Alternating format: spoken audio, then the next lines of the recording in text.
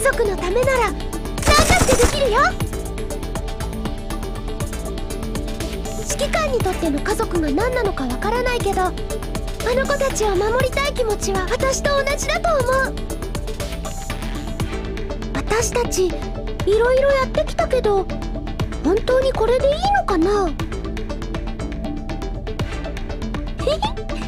足音で4号ねじゃないのはすぐ分かったけど指揮官でも嬉しい。